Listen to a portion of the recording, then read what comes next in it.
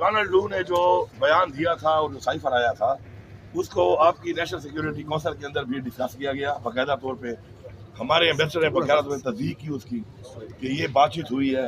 और उस बातचीत के नतीजे में हमारा बयान अभी भी वही है कि ये एक साजिश थी। और उसके बाद उस पर डिमार्च भी किया गया। और ये कहते हैं कि जी, मदाखलत थी। अब देखें जी, मैं तो ये समझता हूँ, अगर एक मैं गैरतमंद पाकिस्तानी होकर अगर मेरे घर में कोई मदाखलत नहीं करता है तो मेरे ख्याल में वो साजिश ही है। अब डोनाल्ड ने जो वहाँ पे बात की है एक झूठा बयान से देख के उससे इनकार कर दिया तो मेरे ख्याल में असद मजीद साहब को बुलाया जाए। इसको बुला के पूछा जाए कि जो बातचीत थी अगर ये बातचीत नहीं हुई थी तो साइफर भेजा किसने था? ये तो एक बहुत बड़ा सवाल निशान बन रहा है। अगर वो झूठ नहीं बोल रहा और सच बोल रहा है तो फिर वो साइफर था क्या? और जिस साइफर के अंदर इमरान खान साहब को इस वक्त सजा दी जा, जा चुकी है इलीगल सजा तो अगर साइफर था ही नहीं तो सजा किस बात की? और अगर था तो फिर साजिश थी और साजिश के ऊपर हमें बिल्कुल उस पर एहतजाज भी हम करते हैं और हम हक रखते हैं इस चीज़ का कि हम अपने मुल्क के अंदर किसी की मदाखत भी बर्दाश्त नहीं करेंगे।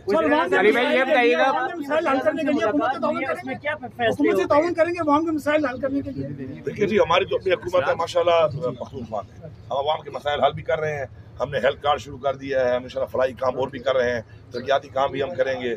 और उसके लिए जो हमारे इन्होंने पैसे देने हैं, वो हमारा हक है। और अपना हक हम मांग रहे हैं, इंशाल्लाह हम लेंगे इनसे अपना हक। बाकी ये जो हुकूमत बनी हुई है, ये मैंडेट के बगैर है।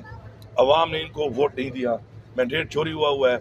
हमारी अपील भी है और हमारा इस पर एहतजाज भी है और हम करते रहेंगे कि इसको बकायदा तो पर देखा जाए।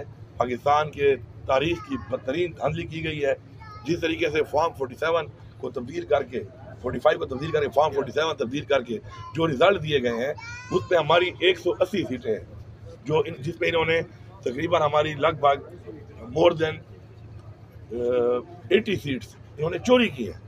तो अब ऐसी हुकूमत जो कि अवाम के मैंडेट से ना आई हो जिसके साथ आवाम की सपोर्ट ना हो और अवाम का मैंडेट चोरी करके आई हो तो वो क्या डिलीवर करेगी?